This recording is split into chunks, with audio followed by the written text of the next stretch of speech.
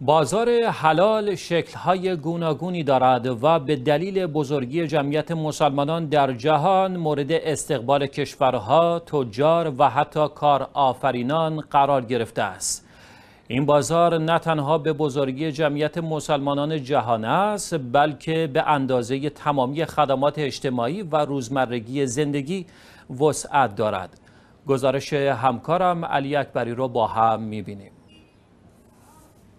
در کشور مالزی در جنوب شرق آسیا صاحبان اولین طرح کاربردی تحویل غذای حلال اعلام کردند که این طرح را در سطح کشور به اجرا می‌گذارند.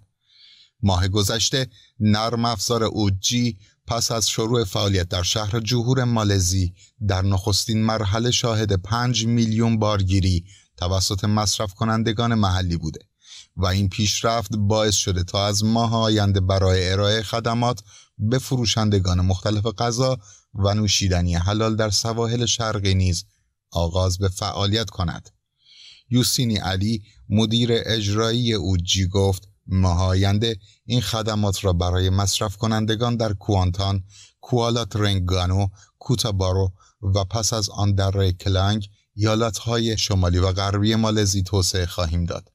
وی افسود از زمان راه اندازی غیر رسمی این طرح در ژانویه این شرکت حدود 300 فروشنده ثبت شده تنها از طریق برنامه دارد.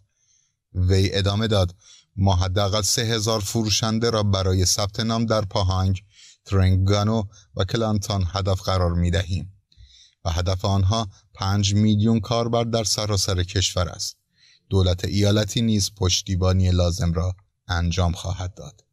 خدمات حلال در مالزی نیز طرفداران فراوانی دارد بر اساس مطالعه توسط شرکت Crescent Rating بازار غذای حلال در سنگاپور در سال 2019 میلادی به واسطه فعالیت جوانان مسلمان حدود 745 میلیون دلار برآورد شده است.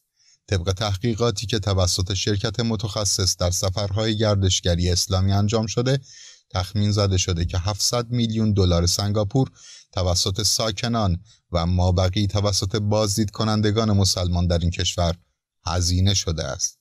فاضل بهارالدین مدیر عامل Crescent Rating در این باره گفت این نتایج طبق مدل سازی داده های مختلف داده های رفتار مصرف کننده ورودی نظرسنجی تعداد جمعیت و غیره به دست آمده است این مطالعه نشان داده که جوانان و مسلمانان نسل جدید نیروی محرک اصلی رشد بخش بازار غذای حلال هستند.